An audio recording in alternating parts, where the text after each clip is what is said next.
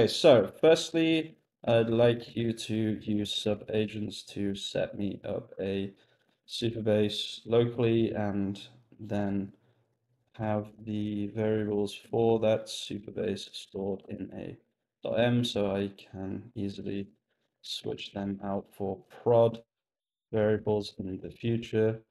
Generally do this for everything we work on today as in always code.m variables so that I don't have to worry about what variables are where in the code, etc. Do you understand? Can you do this for me?